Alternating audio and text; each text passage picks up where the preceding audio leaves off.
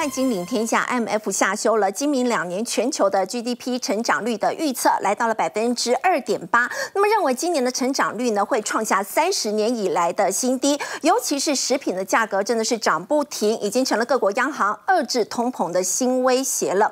另外，股神巴菲特呢也首度回应了在去年第三季买入四十一亿美元的台积电 ADR，结果却在第四季的时候呢就闪电脱手的原因，就是因为担心地缘政治。而而供应链还传出说，台积电在明年度的资本支出呢会双位数的下滑。但是摩根士丹利也指出说，如果台积电法说能够提出第二季的营收呢季减不超过百分之九的话，还是有机会呢可以突破巴菲特魔咒。另外，联合国示警，全球人口在二零五零年将会逼近百亿大关，全球势必出现抢粮食这样的状况。而现在各国已经开始研究自己的培养肉，真的可以解决高通膨所带动食品价格大涨的问题吗？我们在今天节目现场为您邀请到资深分析师谢晨业，大家好；资深分析师王兆丽，大家好；资深分析师陈志玲，大家好；金陵天下特派员叶芷娟，大家好。好，陈燕国际货币基金 IMF 呢是下调了今明两年全球经济的预测。那么最主要的原因之一就是来自于高通膨，尤其是食品价格的部分真的是居高不下，令人担忧啊！为什么呢？因为 IMF 呢这一次下修了今年跟明年的 GDP 的一个展望，尤其是今年它把它下调到只剩二点八，而且呢，甚至他谈到说会面临硬着陆的问题。我要讲哦，这里面一个他他的观察。非常重要的就是通膨的问题。他认为通膨到现在还高达百分之七哦，这个通膨的数字既然是一九九零年以来最差，也就是说，我们的好兄弟鲍尔到目前为止，他想要压通膨这件事。到目前为止，效果是不是没有那么卓著？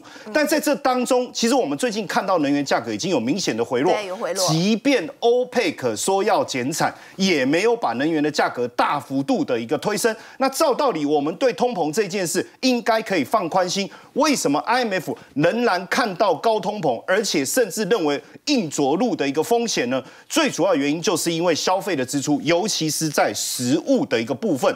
当然，很多人会觉得说，IMF 每次做预测好像也会在做调整，但是它的预测是真的准确吗？实际上，如果我们从一九八零年以来持续的长期去追踪 IMF 对全球经济成长率的预测，跟最后实际的一个状况，因为你预测嘛，我观察嘛，然后我去做了一个数字的一个评估嘛，其实也是要提醒大家未来景气可能的变化，你政府相关部门要做出什么样的一个决策嘛？当然，最后实际的成长率可能会有一些落差。可是我们既然发现这个落差并不大，也就是说从图形上来看，绿蓝色的这个点点呢，就是它的预测跟实际的一个状况，既然差距不大，所以我们要不要去重视 IMF 这一次的下修？我认为非常的必要。而且在这当中，他特别谈到的一个实物，到底实物现在的通膨的状况，到底是不是还是这么严重？我们先来看一下台湾的一个部分哦。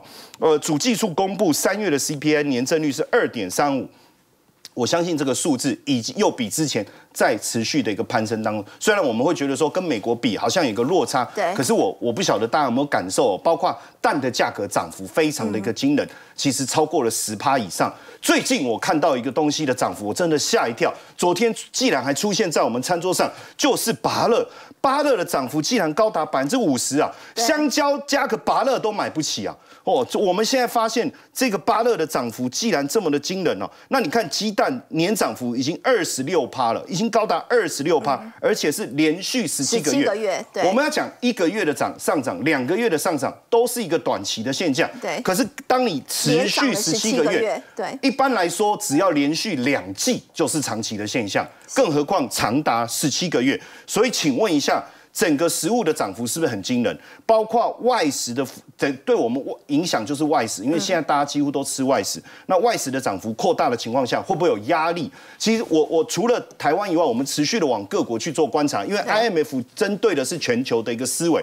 我们看到韩国。最近他们政府推出了一个早餐计划，只要台币二十三块，大家会说，元而已。对，大家会说，哎，那跟涨幅有什么关系？就是因为实在是物价上涨的太严重了，学生呢，尤其是大学，他们在外食的过程中，那个压力太大了，所以只好政府跟大学就是吸收那个费用啊，让学生能够享受。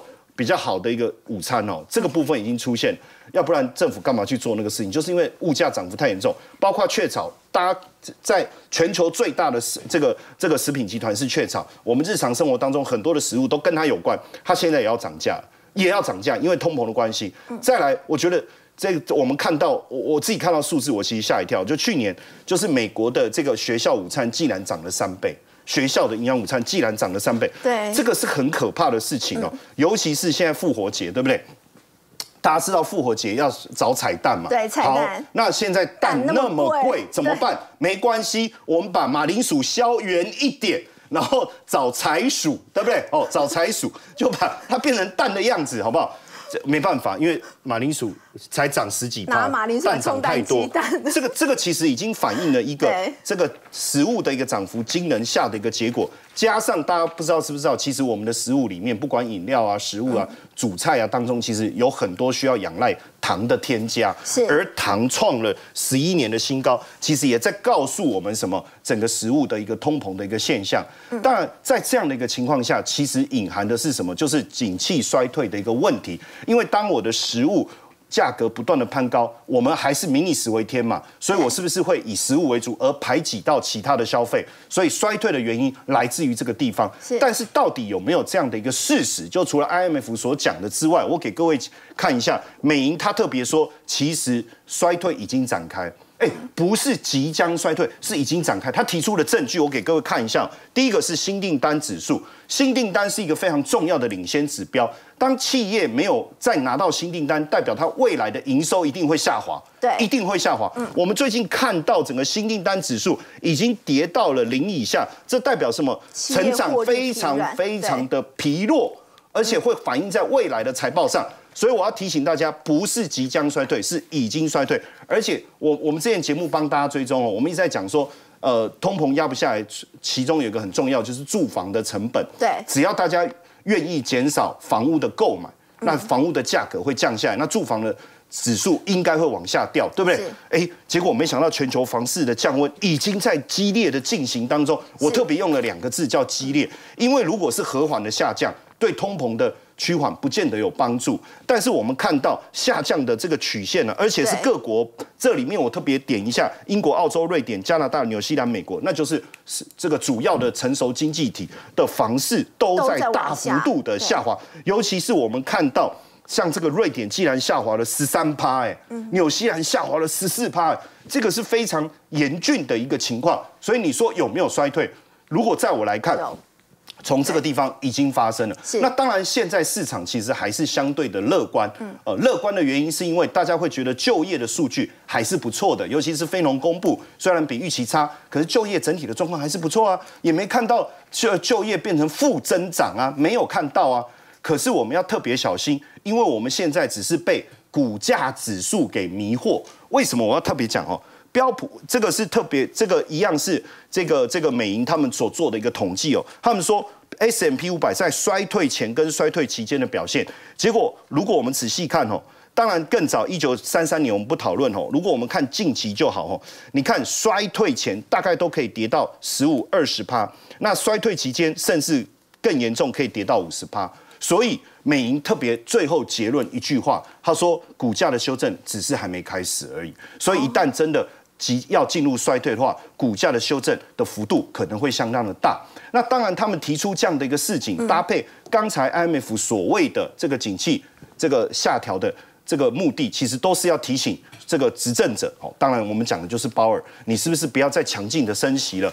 连鲍尔最信任的专家是谁？不是我，是克鲁曼哦。你看克鲁曼哦，这个他非常信任的男人哦。克鲁曼其实一就跳出来提醒他说：“你不需要。”高失业率来降通膨，因为高失业率的意思就是你一直升息，一直升息，然后整个失业率砰一个，然后经济砰一个就垮了。他说不用，为什么？因为他说其实通膨会不会你们太过恐惧？因为刚才看到的是食物的通膨嘛，对，只要食物的通膨降下来，其实通膨应该就解决，因为住房已经改善了嘛。所以他认为联总会的已经是过度紧缩了，太紧张了。你紧张到你你的升息已经过度紧缩了经济，如果你再持续的升息下去，美国。急剧的衰退可能会发生，这个是克鲁曼，鲍尔一直很很相信克鲁曼的一个论点，因为他也是非常重要的经济顾问嘛，白宫的经济顾问。另外是贝莱德的投资长，他也特别提到，其实通膨接下来就会和缓的了，没有大家想的这么严重，降下来的速度可能比你想象来的快，所以需不需要再提高利率来对抗通膨？其实应该是够了，因为毕竟政策的传导还需要一点时间，但是通膨下滑的速度可能会比大家想象的快。好，连穆迪的首席经济学家赞迪也说。通膨放缓，劳动市场状况的缓解，其实应该要暂停升息的周期了。包括纽约费德的总裁，他说再升息一次就好了啦，卖卖再一次就可以了，几盖的啊，几盖的啊，再一次就好，再升一次意思就是说。剩下那就是五月了嘛，你你五月再升一次啊，满足你对于这个通膨的恐惧的不安全感之后，是不是可以不要再升息？那芝加哥的这个费德总裁也说，升息前，你看他特别，他没有说不要升息，但他说要谨慎啊，要审慎啊，好不好？你要去评估这个金融的压力啊。为什么一旦持续的升息，实际上把美国打入衰退、金融压力升高的情况下，会不会让这个整个金融市场陷入另外一个困境？所以或许真的五月就是最后一次升息了。好，刚陈岩看，但我们看到就是美国联准会现在面临到的难题，就是到底在金融稳定跟物价稳定之间要如何取得平衡。我刚刚也特别提到，包括克鲁曼啊、贝莱德的投资长，还有穆迪的经济学家，都认为说呢，美国联准会呢现在应该要暂停升息了。所以要请教志玲哦，包括银行业的冲击，还有这些先前我们看到的一系列的这个数据，显示美国的经济其实真的已经是正在放缓的情况。那美国的通膨。你觉得是不是也会开始趋缓？真的像他们所说的，不用太过去担心通膨的问题是因为今天的重头戏就是要公告这个 CPI 嘛。但是呢，我想跟斐鱼讲哦，因为通膨今天晚上公布，它其实是过去式。那我们其实操作股票看的是未来，对不对？嗯。所以我今天想跟肥鱼讲，今天通膨的下滑，我认为可能是最后的响应，甚至要跟投资朋友报告，最近这半年的通膨的下滑。可能是今天就是最后的晚餐了。克里夫兰的一个联储的一个分行的这个 PCE 的预测啊，它预测非常的精准哦。为什么呢？因为呢，它现在的预测来讲的话，我们先看这个柱状图，这边很明显的看得到，它其实它现在是代表下个月是往上，往上，因为现在是公告三月份，四月公告三月，那这边的四月份的数据其实是比原先规划的四点六，然后上升到六呃四点六七。所以代表下个月的数字可能会上，会往上。对，所以大家最近很乐观，说，哎，通膨可能要下来了。但是呢，我先跟大家报告一下，这个数据它强在哪里？它从一九九九年开始到最近哦，因为每次通膨要公告之前，不是都会有投资银行啊，或者是经济学家来预估说啊，这个通膨数据可能多少，所以会有个预测值，对不对？但是呢，经过这个研究机构的一个调查，从一九九九年到现在，它的预测最准。怎么样准呢？我举一个案例哦，一月份的时候有公告这个核心的这个通膨，一月份公告的核心通膨呢，它预估是五点，哎，数字五点八六，五点八六二，嗯，然后实际出来的话呢是五点八六四，是比较高的，哎，就是实际上出来它是有差。三个小位数而已，等于接近百分之九十九。那当时经济学家的预测是五点七，结果他的是比较精准的，所以他预测的是非常的几乎百分之百精准。好，那如果这次的通膨真的如他的一个预测，真的往上跑的话，那行情会怎么样的一个动荡呢？其实我们可以来看一下，在去年的时候，九月份的这个地方也是市场上非常的意外，因为在那个时候九月十三号公告的通膨。意外复燃到八点三，八点三，对。当天的美股啊是创下了你最那当时那两年来单日的最大跌幅，所以后面的一个行情就走了一个波段跌幅，一路跌到十月份嘛。那十月份的时候呢，你看到股市也是在通膨公告的那一天，十月十三号见低点。哦。所以从这个地方可以看得到，通膨数据的发发布。这个股市震荡会非常的大，而且都是转折点。那我这边来跟大家报告一下，为什么我认为这下个月上扬的几率很大？其实它这是一个数学的问题，你知道吗？因为呢，我们可以来看一下，很巧的是去年十月见低点，但是呢，你可以看得到这个通膨的基期，上一次节目来我跟大家报告，基期的优势就到现在。为什么这么看？因为从去年的十月到今年的三月份。它的基期这个柱状图是往上跑的，这个是什么概念呢？我来跟大家报告一下，它是一个数学分子分母的概念。如果分母是一百，那它这个通膨是十，对不对？那假设这个价格没有变，但是下面的分母变成两百的时候，那数字会变成五趴。嗯，所以这个就是所谓的一个基期的概念。所以当时的基期往上跑，所以假设价格没有什么掉。但是通膨的数据它就是会下来，对，所以大户也知道，所以在去年十月的时候，他知道后面通膨要下滑了，所以股市就在当时见低点了，所以就是出现了这样的一个行情。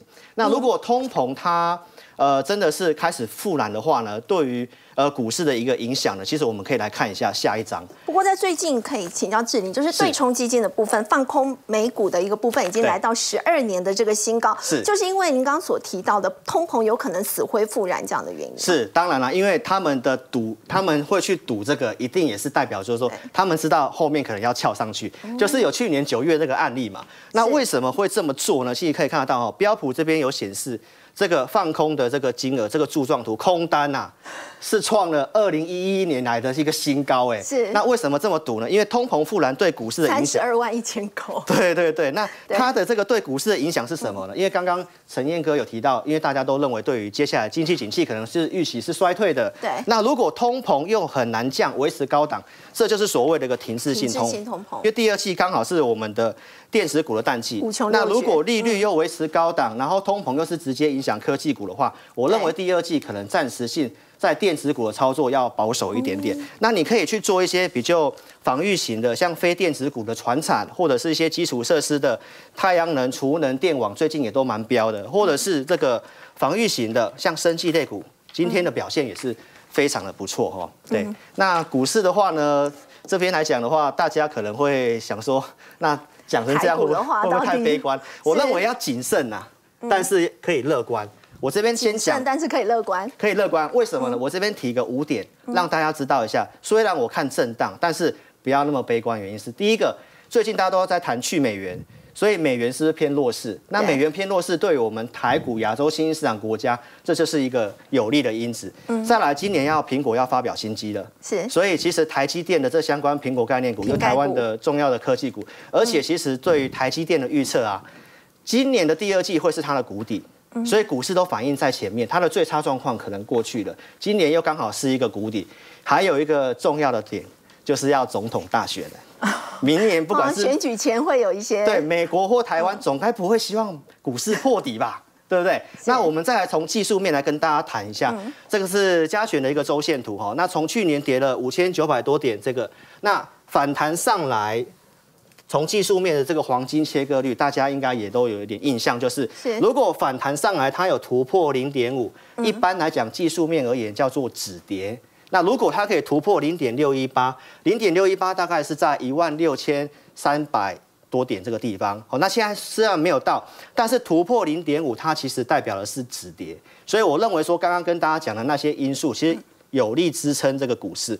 那如果它后面有震荡拉回的话，既然它已经止跌的话，代表这个低点其实不太容易破，所以我认为第二季的拉回，台积电又是谷底，加上最近这个缺的 GPT 啊，它对台湾的半导体整个晶片的部分，大家觉得是蛮有机会的，所以这些的利息点，我觉得支撑台股有拉回，我认为第二季是机会，但是要特别注意五月份的这个可能会出现的黑天鹅。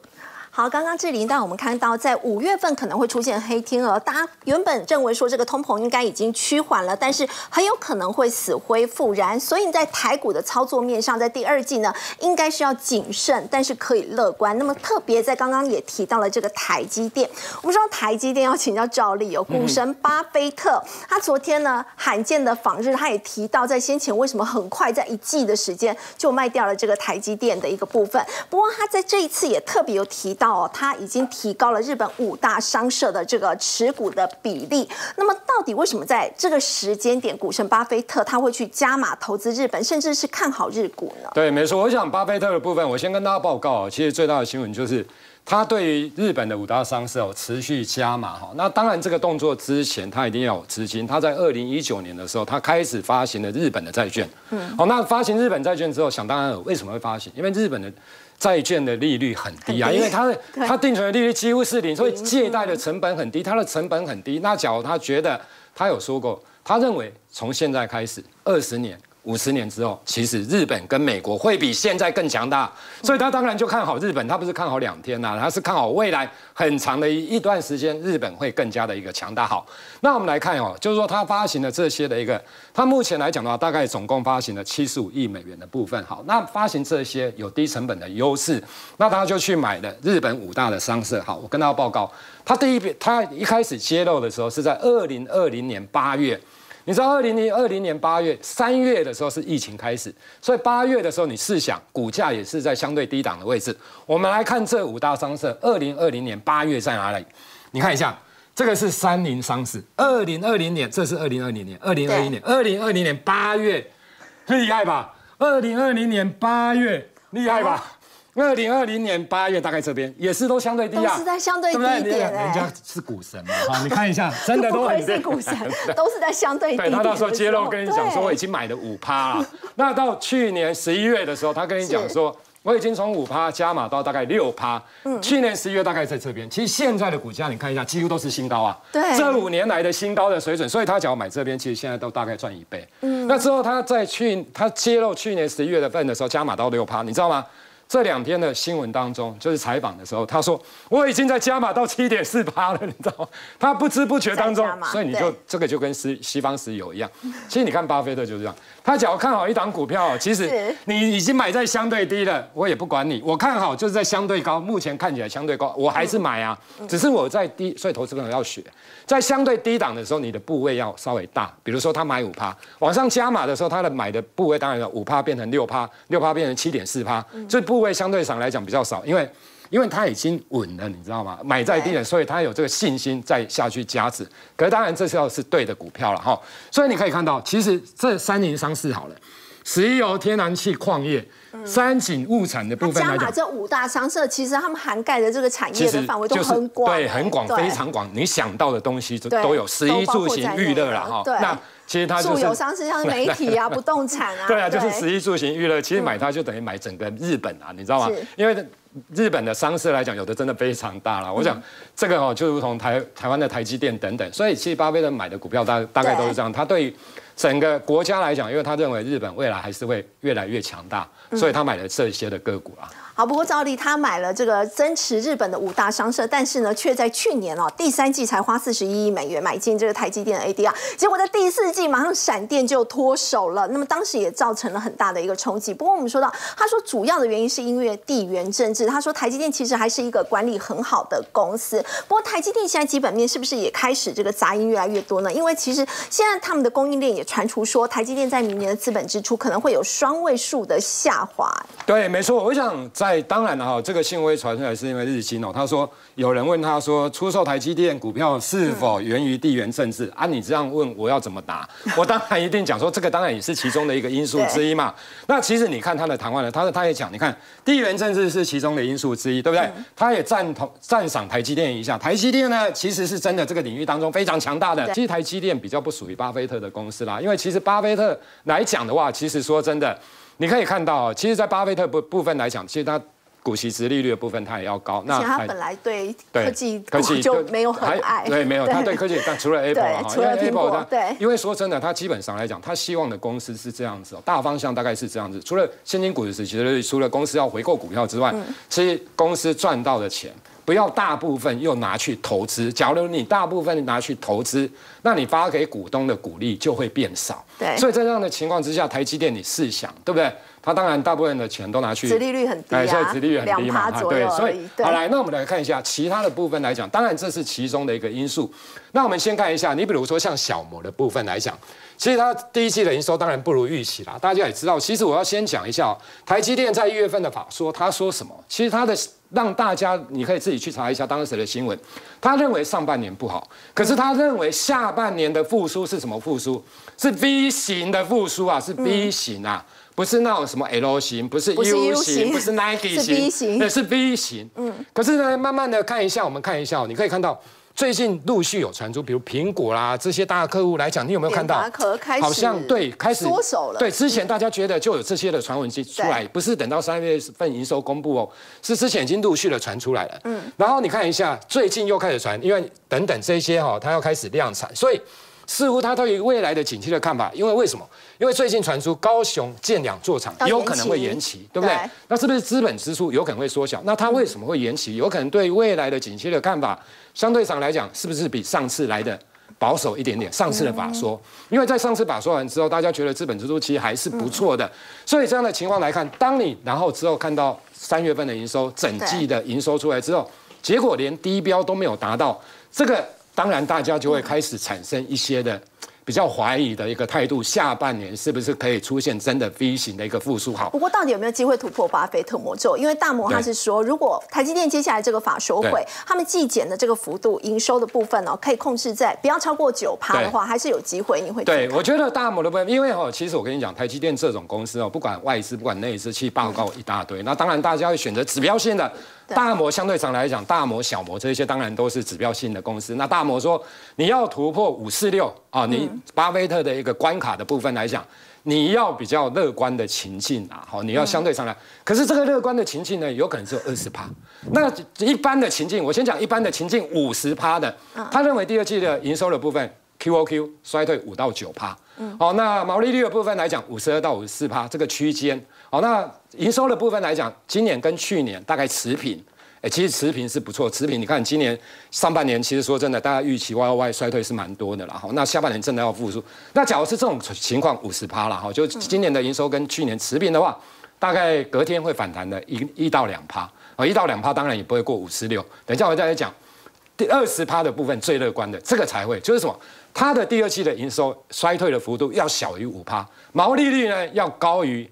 刚刚所提到的五十四趴，那另外的营收的今年预估的营收的部分要比去年成长，他认为这个呢就有机会突破巴菲特的高点，可是这个只有二十趴，你知道吗？那另外的三十趴当然就是比较不好的啦，就是认为它隔天的股价有可能会跌跌五到三趴，就是它的营收的 QOQ 的部分有可能衰退九趴以上，毛利率低五十二趴啦。今年的营收比去年稍微的衰退啦，那有可能隔天股价会跌三到五趴，其实这个大概是三十趴的一个水准啊，几率概率的部分。所以法说会之后，脚以大摩的情境来看，要突破五四六的高点，说真的只有二十趴的机会啊。那么，假如以这样的来看的话，其实台积电去年 EPS 大概三十九，今年 EPS 预估大概三十二，你看到了就知道。但当然去年有有汇兑收益的部分，对。那 EPS 的衰退，你说短时间真的哦要过到？六百多块，那个我觉得那个难度真的太高了。那我觉得台积电基本上来讲，应该会陷入箱型整理的格局。好，它大概短时间来讲，就是高点大概也不过了。好，除非法说会真的非常好。可是我个人觉得，法说的部分来讲，不会非常非常的正面呐。好，大概就持平，所以应该是以箱型的一个整理为主。真的会过六百块，我觉得是今年下半年越接近年底才有机会。因为为什么？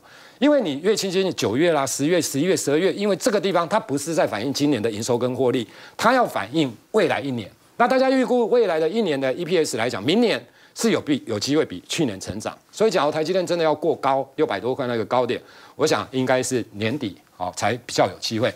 那另外的，当然，假如台积电不是那么的好的话，那封测的部分当然它就龙头嘛，哈。那龙头，其实我跟他们报告，当然台积电有压力，大概这些封测厂商，因为第一个毛利率相对上来讲，当然也比较低了，哈。那第二个来讲，你看一下第一季的营收的部分来讲，哦，衰退季减二十六点二趴，其实也不遑多让啊，那年减九点四八，七季的低点哈，就它的营收，所以那它只是说它是库存去化，它预期是固定，可是大家要记得哦。在 EPS 的部分来讲，你有没有发现去年十四点五，今年预估大概十块到十一块，其实都是衰退的啦。就跟台积电其实是那美股基他们好的是美股基所以这种股票其实涨到这个地方，我会认为你越接近净值的时候，你再去买，相对上会比较安全。就是你这种股票不能追啦，哦，因为台积电脚不涨。那历史的部分来讲也是一样，你就看一下净值。EPS 的部分，去年十一点六，那今年预估，其实大家有没有发现都是衰退，可是股价真的都涨了一段。可是你有没有发现？像这档股票，外资没什么买，投信也没什么买，只有这边外资倒出来，投信买进来，那就那时候，然后结果就这样，它记忆体封测的部分啊，那另外奇邦是驱动 IC 的部分，你看一下，去年 EPS 八点四一，今年预估大概六万，其实大家会看到，其实都是衰退了哈。那美股净值五十五点三六，可最近涨完之后，现在开始有点压力。我觉得其实封测的部分涨到这个地方，确实会有一些压力。那净值的部分来讲，越接近净值才是你比较好的买点。那现在我觉得相对上来讲，回档的压力确实会比较大一些。所以半导体相关的这个族群的话，是暂时还是要先保守一点去看待。对，嗯，好。不过我们说到最主要还是来自于在高通膨，美国一连串的这个升息。那么高通膨在这一次当然也带动了这个食品价格的一个大涨。现在各国呢已经开始在研究自己所谓这个培养食物的部分。要请教子娟哦，像这个荷兰的博物馆呢，就出现了这样一个。猛犸象肉丸，它是它是真的肉吗？不是像我们之前在节目曾经有提过这个人造肉，它是真的肉吗？对，好，这是它是先回答你的问题，它是真的肉。那之前我们也在这个地方，我们有讨论过是植物肉，而且其实我要说，植物肉现在普及的状况已经比我们想象中还要来得更普及。嗯怎么说呢？因为我刚刚去这个巴黎迪士尼玩，然后巴黎迪士尼的汉堡啊，它那个图就有一个汉堡的图，然后同一张照片，然后有两个两个就是选项，可是价钱一样。重点是价钱已经一样了，然后那时候我就问他，我就说，哎，为什么这同一张照片看起来都是一样的汉堡，然后你却是两写了两个项目，然后价钱又一样？我说是怎么回事呢？他跟我说，哦，小姐，这个是真的肉的汉堡，这个是人造肉的汉堡，所以他其实已经在迪士尼里头就已经这样卖，而且我们过去会觉得植物肉应该还会稍微再贵一点，没有，他们现在已经可以做到价钱是一样的一个状况。可是重点是植物肉终究素的嘛，它终究是用大豆类的豆类的东西，然后只是去模仿，希望可以模仿出。肉类的口感，嗯，但是它终究是植物做的。好，但是现在这边呢，我们讲这个叫做培植肉，它就是。真的肉，其实它就是在实验室，你可以把它想象成有点类似，像是我们有时候在做什么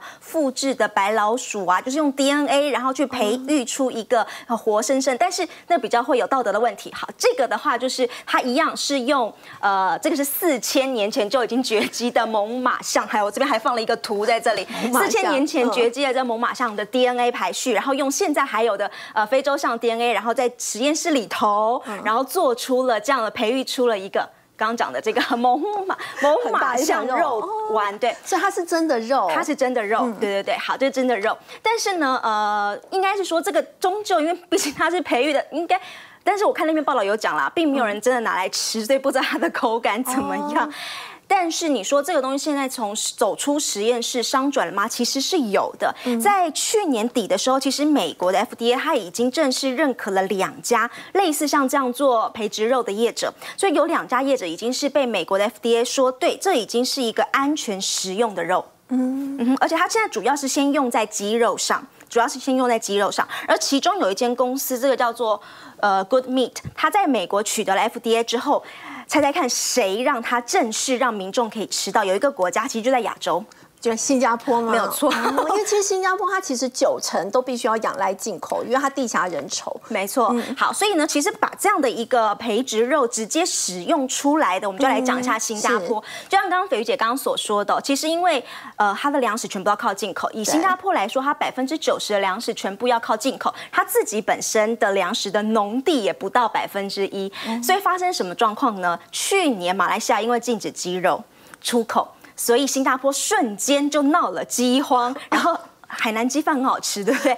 他们当时的新加坡人就完全没有海南鸡饭可以吃了，就只因为邻国一个一个限制的状况，所以他瞬间他们的粮食就出了问题。所以其实这一件事情，他们的政府。一直以来都是有危机感的，所以有危机感哈，这个事情很有趣。其实就在去年，应该去年底吧，呃，联合国的气候峰会那时候在新加坡举办，那个时候新加坡政府呢就已经在四季酒店宴请了八国领袖，他就是拿这个培植肉，刚刚讲那两家已经合可的，其中一家所做的培植肉的鸡肉。做了一个鸡肉的三吃，它可以做一个串烧，然后炸鸡皮、煎鸡胸肉，而且是直接把这个东西当成国宴，然后去请了八国领袖来吃，可以实际上让他们知道说，哎，对我这个已经是实际商转，而且吃起来口感就跟。不能说口感跟真正鸡肉一样，因为它真的就是真的鸡肉，只是它在实验室里面所培养出来的嘛。是。好，那当然呢，大家就会说，那为什么会是新加坡呢？刚刚所讲，它有危机意识，所以他其实他给他自己的目标是，他说我在他们有一个三十乘三十的计划，什么意思？他要在二零三零年之前。然后他们要让自己的粮食的自给率达到百分之三十，就是三十乘三十的计划。所以他们呢，一边他们用科技来种蔬菜。然后一边呢，还要用科技来造肉，对，因为其实你知道，呃，我们说。呃，植物肉其实还有一个最根本的一个问题是，你说我们植物肉不是也是大豆，可是大豆还是要有田来种才可以嘛？对，所以它还是有田的这个问题。人家的田呃不到百分之一，百分之一。对，所以对他们来说，他觉得如果今天我真的要造造肉的话，这种科技肉似乎又会比植物肉又来更有一点点机会的感觉。那人家到底是怎么做的呢？它是由他们的这个主权基金下面的这个淡马锡控股直接去成立了一个食品科技的。创新中心花了多少钱？台币四四亿，然后专门就在研究这种城市的农业，因为他们说他们希望能够要能够种出来嘛，然后替代性的蛋白质其实就是类似像我们刚刚所讲的，不管是植物肉就替代性蛋白质，或是这个养殖肉等等，还有一些未来食物。所以以现在在新加坡来说，其实它有三十六家的这样的新创公司，每年都可以培养出非常多的一个很新的一些技术出来。最后回归来，那你觉得台湾我们学到什么？虽然我们没有到百分之九十是要靠进口，可是其实我们台湾有七成要靠进口哦。对，如果联合国说二零五零年之前，呃，人口会到百亿，然后粮食需求大增的情况之下。全球势必抢粮，那你说台湾其实也是百分之七十要靠进口，所以或许新加坡例子我们没有办法完全适用，但是我们要去好好思考一下我们未来的粮食政策。好，刚刚子娟带我们看到呢，我们说到现在这个高通膨，食物的价格大涨，那么以后如果说在全球人口呢突破了百亿的话呢，其实抢粮是有可能发生，所以现在很多国家呢已经开始在研究呢这个自己来造肉了。好，我们先休息一下，稍后要来看到的是莱德集团旗下的小金鸡莱宝，它在三月的。营收年增率呢高达七成，那么到底是怎么样转型成功的？我们先休息一下，稍后来了解。